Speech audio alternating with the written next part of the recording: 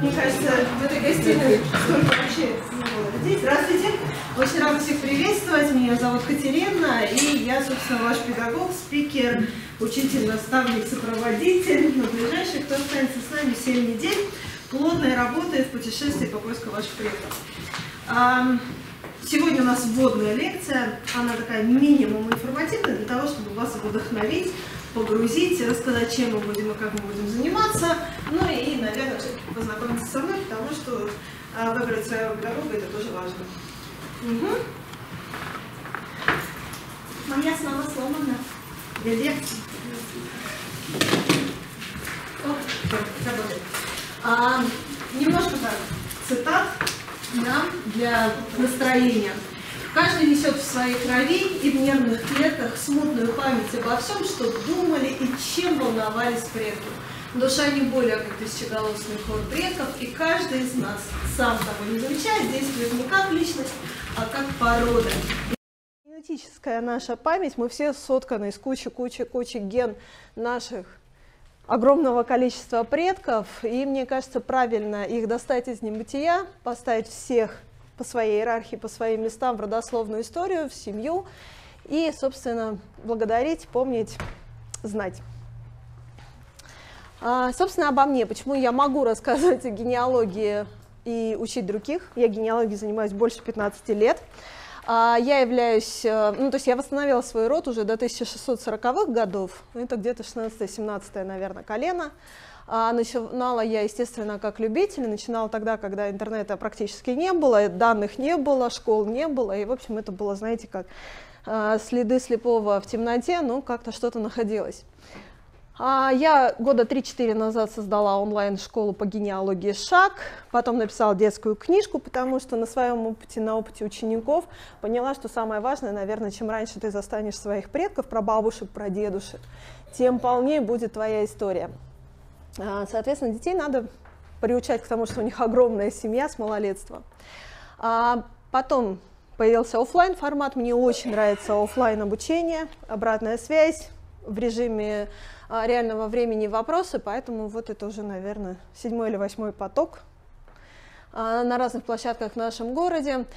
Плюс я спикер в музеях, в Международном Генэкспо и очень много. В общем, я по радио, по, по музеям гастролирую, рассказываю, популяризирую, в принципе, генеалогию и родословную, потому что считаю это действительно очень-очень важно. И летом я открыла собственное бюро по генеалогии, коммерческое, когда у людей есть деньги, но нет времени, можно прийти, специалисты, историки, архивариусы, собственно, восстановят вам по реальным документам вашу историю. Вот. Я больше за то, чтобы искать самим, на самом деле это не очень коммерчески правильно так говорить, но я считаю, когда ты сам соприкасаешься с архивными документами, с находками, это намного круче, чем когда тебе предоставят отчеты в PDF-файле и расскажут, кто кем был.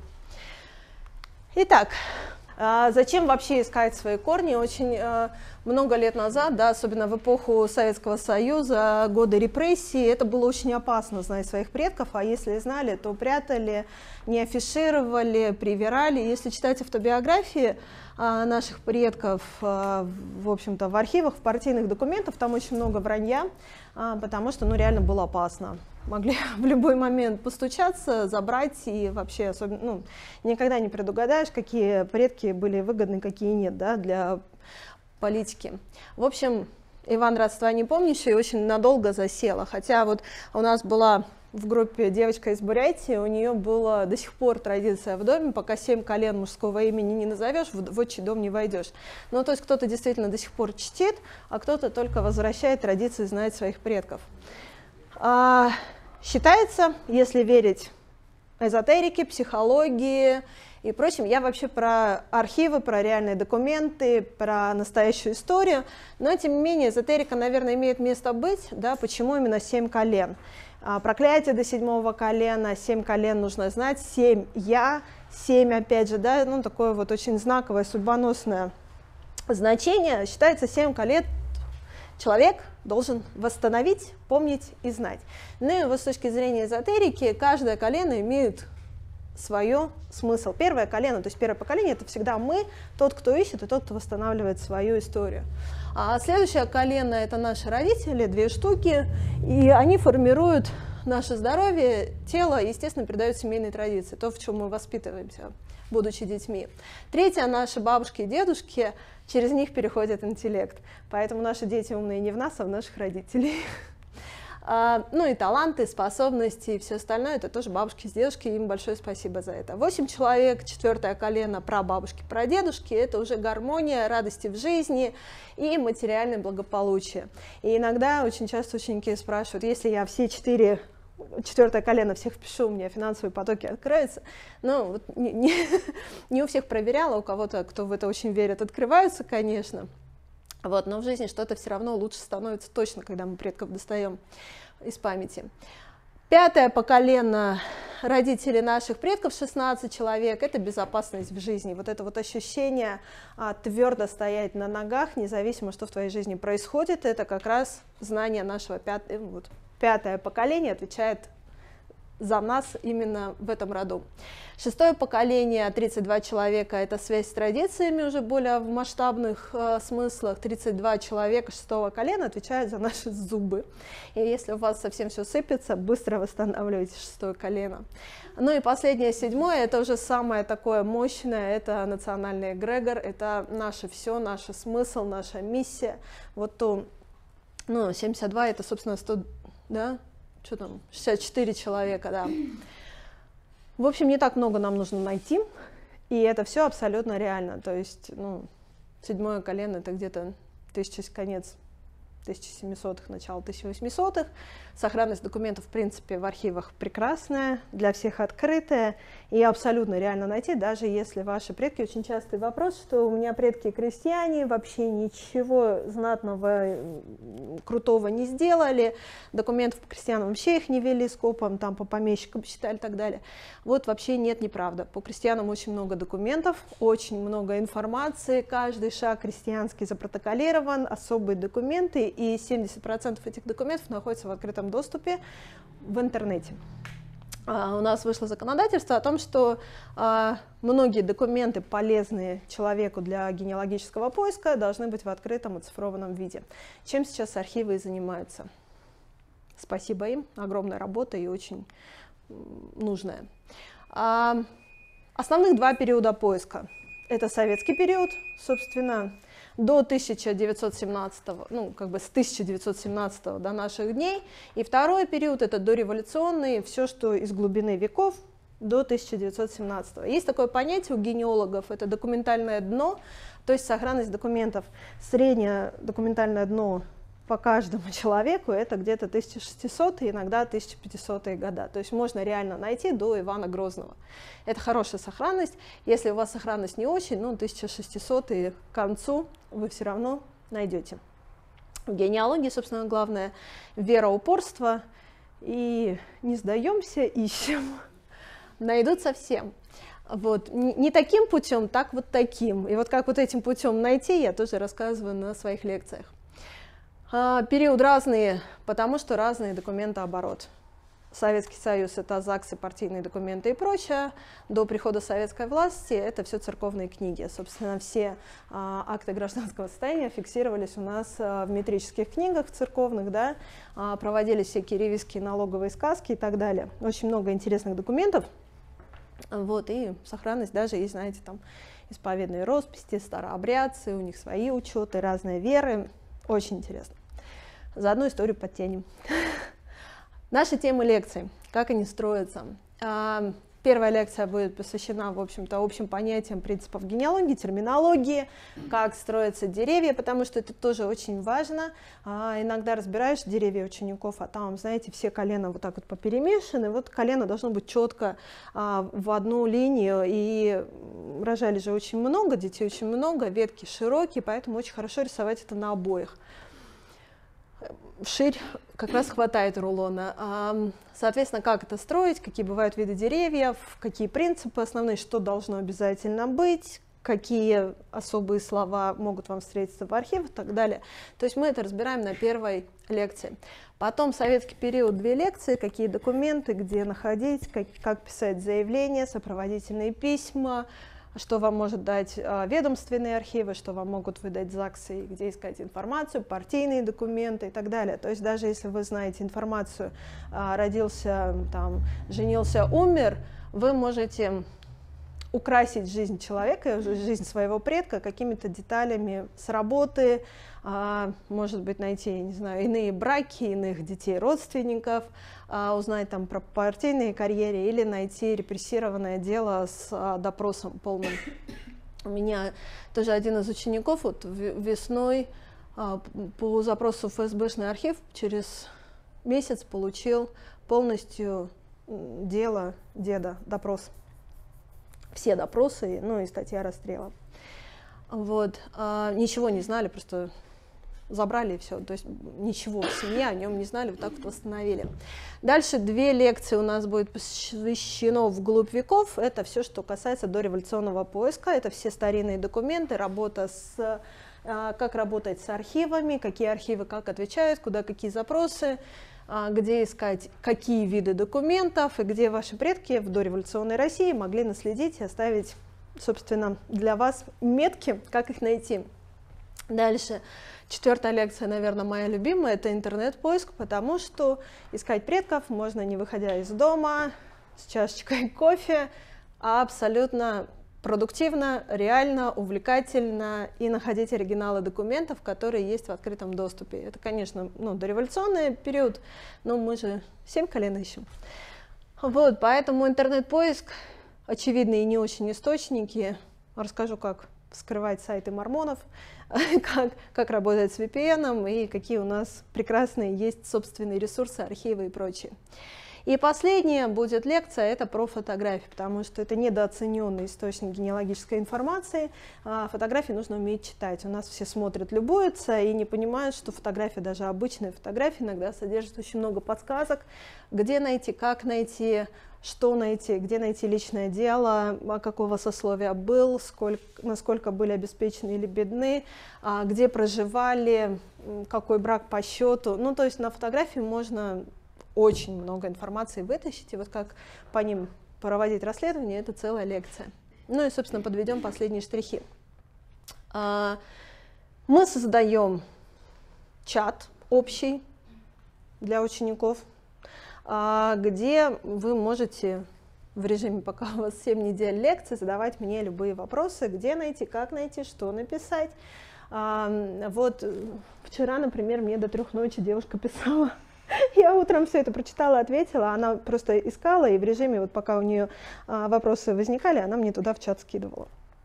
То есть, ну, я помогаю, направляю, тупики находятся, ошибки бывают, особенно на первых шагах пути.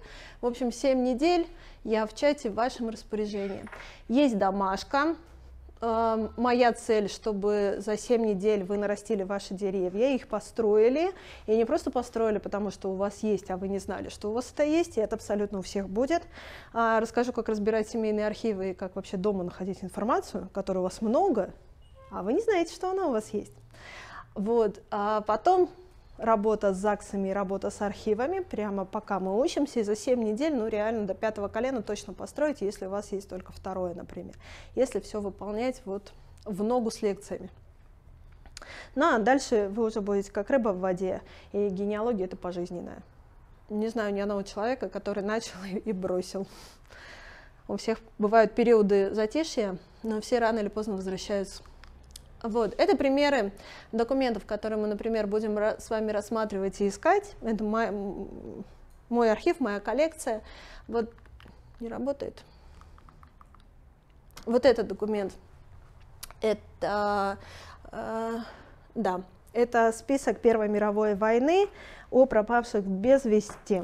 Мой прадед, получается, он а, ну, то есть числился в семье как пропавший без вести, ничего кроме имени, фамилии про него не знали, ушел, бабушка, прабабушка была беременна дедом, родила уже без него, ну и в семье осталось только имя и фамилия, данных больше не было. Ну, я его, естественно, восстановила до седьмого колена через все метрики, но я нашла его судьбу, то есть я нашла через архивы военные, а, причем это были оцифрованные архивы, оцифрованный портал о том, что он э, при взятии определенной высоты в марте 2014 года в Карпатах погиб.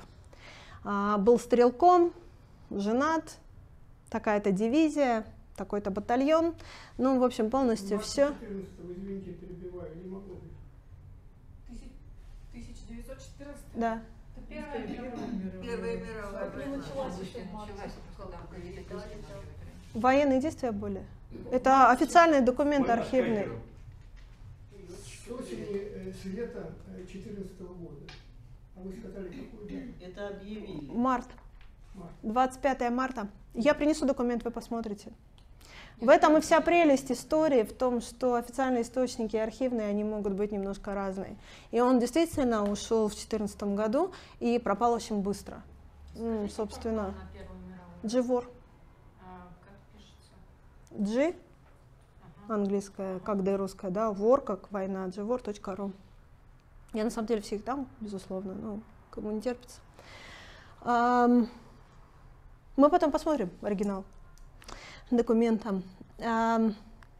Дальше. Вот это сельскохозяйственная перепись 16-17 года, собственно, для а, установки, опять же, все тех же налогов, финансовый вопрос всегда хорошо стоял, и все, что касается финансов, а, в Российской империи, потом в Советском Союзе, очень четко протоколировалось. Вот из этой прекрасной бумажки можно узнать, чем владел ваш предок, какой тип дома у него был, сколько было скота. Это моего предка, у него скота совсем-совсем не было, но у него было а, много гектар конопли. Конопля – это, собственно, ткани и масло, а, вот, а он был портным и одевал всю деревню. Но самое прекрасное в том, что мы же здесь практически все переселенцы по Столыпинской реформе. Так вот здесь вот есть год въезда в нашу губернию, да, в Томскую, раньше была мы Томской губернией, и здесь вот на скане не видно, написано Курская губерния, откуда выехали.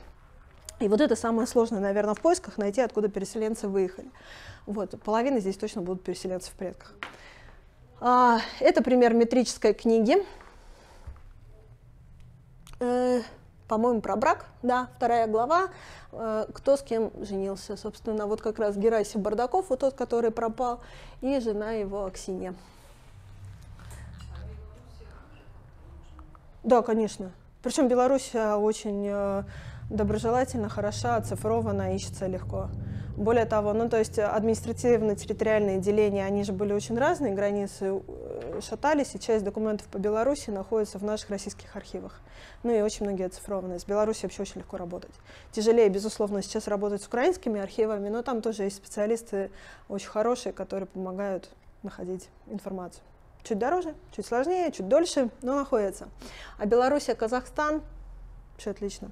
У нас есть, э, мы искали предков в Аргентине, мы искали во Франции, в Англии, ну, Польша, Чехия, это вообще, да, ну, естественно, на Германии, потому что у нас очень много немцев. М?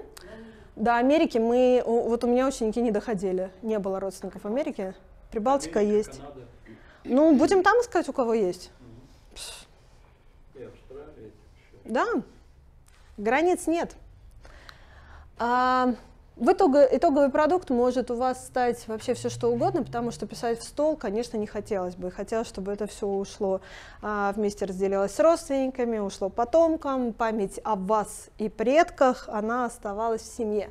Соответственно, как примеры покажу там книги, какие можно сверстать об истории семьи, плакаты с э, деревом и э, современного дизайна, и, собственно, как любят винтажного. А кто-то снимает фильмы, кто-то газеты, альманахи выпускает. Причем, когда ищет, начинает общаться с родственниками, и вдруг начинают какие-то родственные связи наращиваться. И дошло до того, что у нас одна из учениц, она вот в конце августа летала на слет деревни, на слет рода.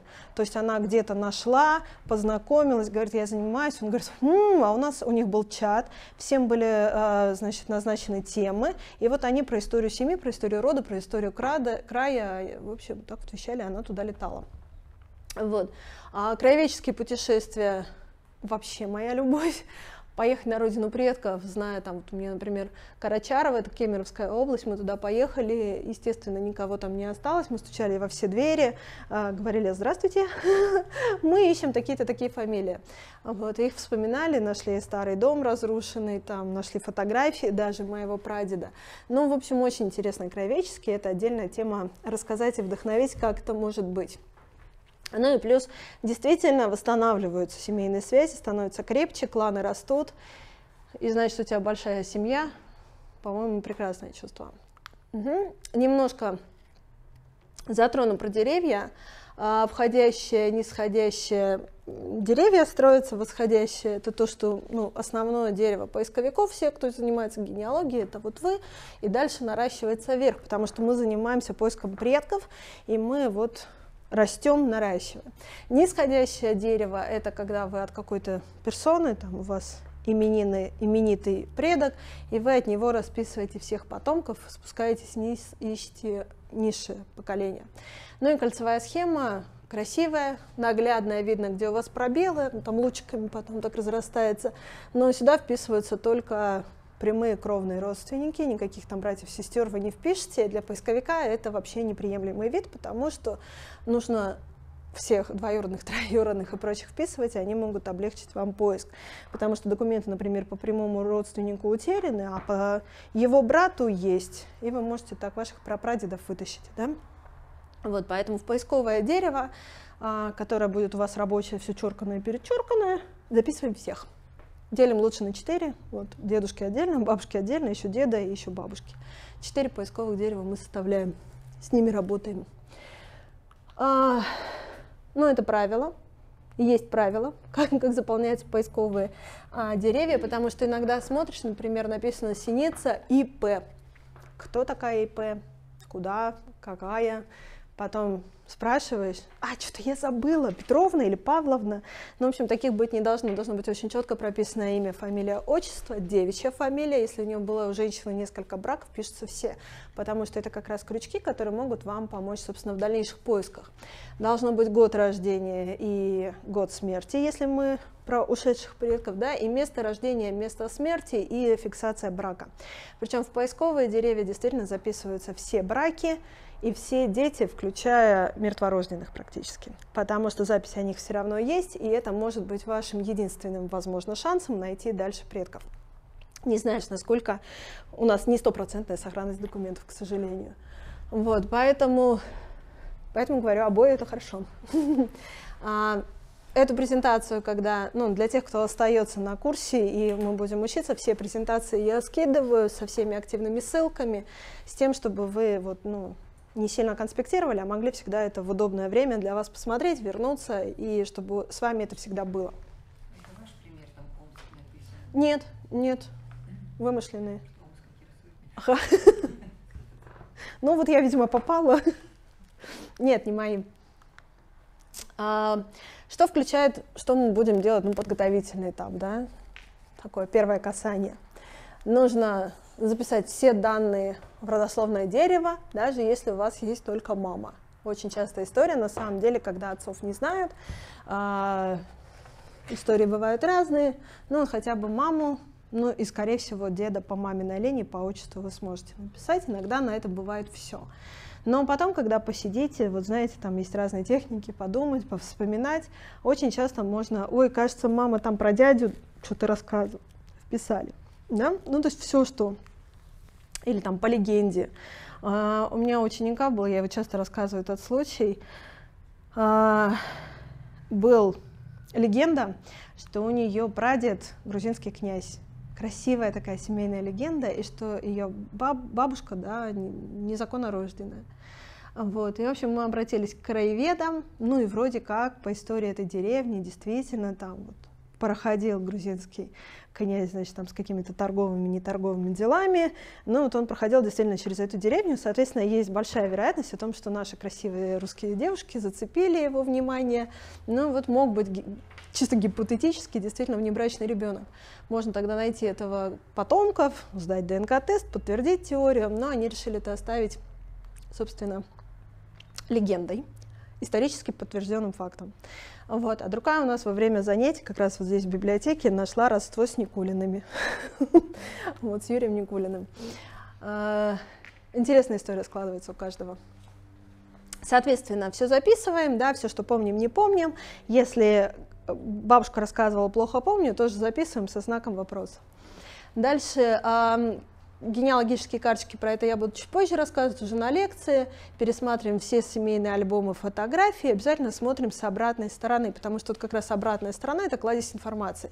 А у нас раньше как рассылали с приветом, с подписями, да, на вечную память от твоих тех-то, не забывай сердце мое, там такие поэтические подписи были.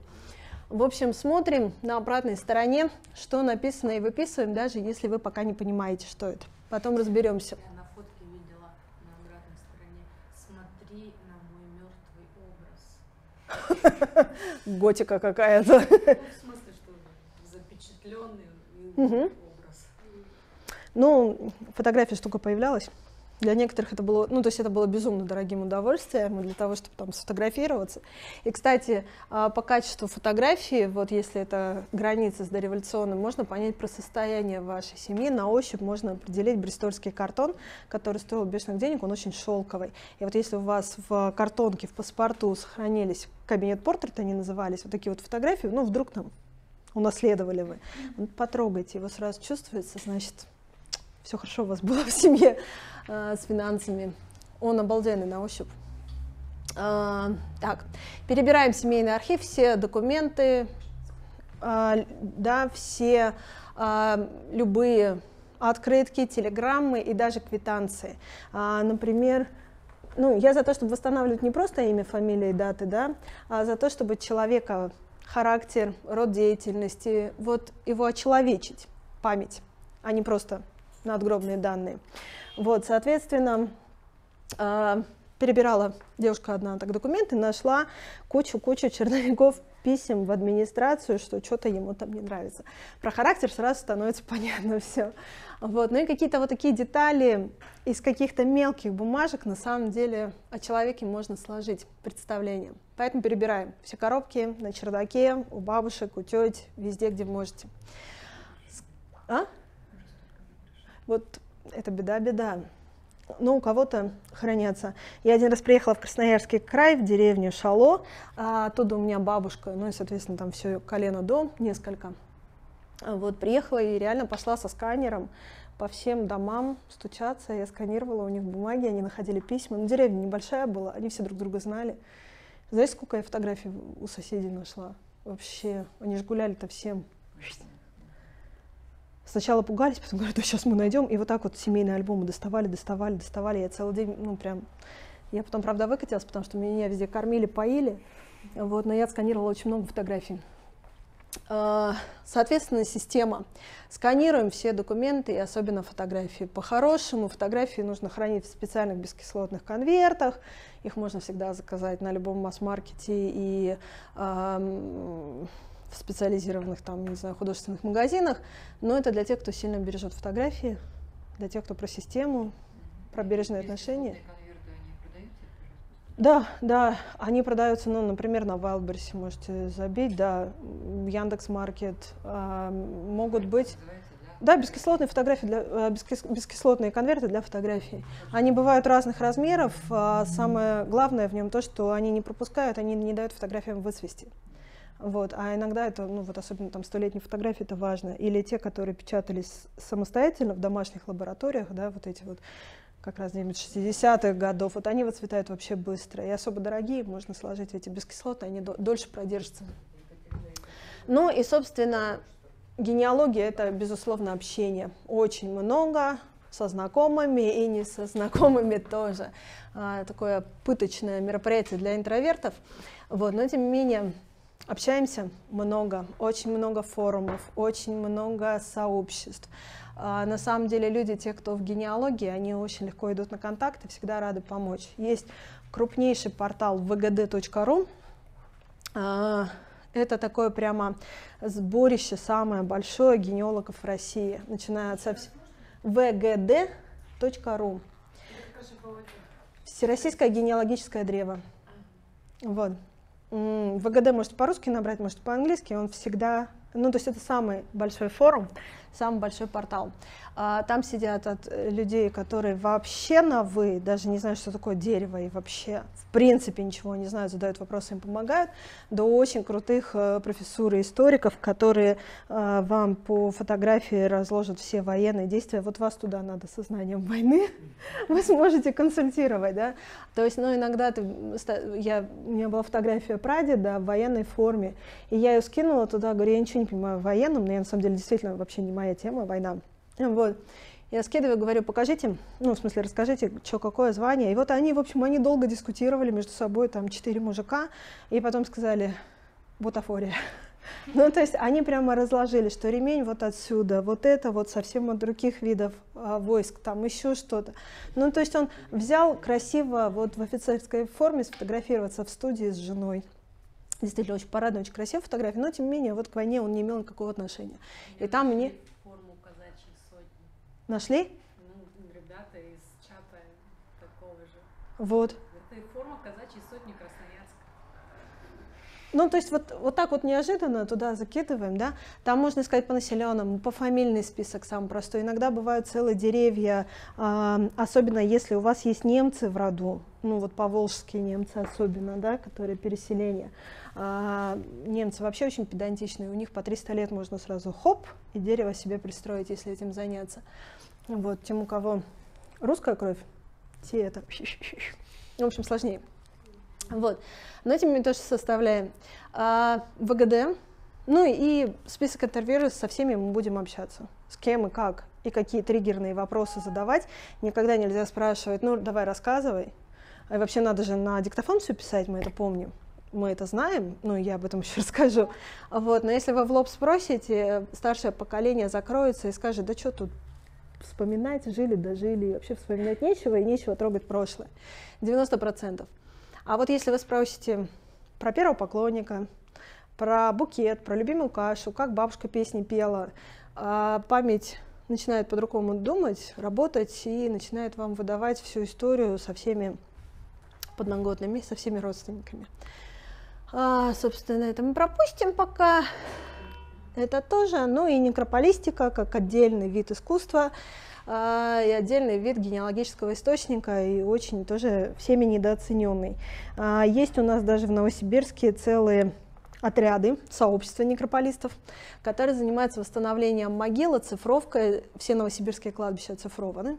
Если у вас а, кто-то из предков похоронен на Новосибирском кладбище, и вы не знаете нигде ни даты смерти, и тем более где похоронен, вы можете это найти в интернете. А, вам выдают имя, фамилия, дата рождения, дата смерти, где, собственно, могила находится, прямо на карте кладбища.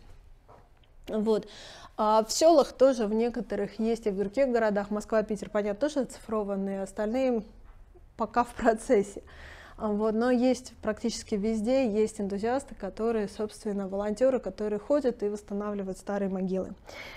А, и вносят как-то вот имена в разные базы, в том числе на ВГД. Ну и, и самим, если есть возможность прогуляться, можете найти, особенно по старым кладбищам, можно найти, ну я не беру наши большие зальцовские, да, а я говорю про сельские, можно найти очень много родственников. Все хоронили плюс-минус рядом, и, в общем, я тоже по ним гуляла и много информации тоже собирала. Учеников всех отправляю, практически у всех кто-нибудь что-нибудь находится. Вот это основа, это то, что мы будем, собственно, проходить, и как мы все это дело будем проходить. Э, давайте вопросы, если есть.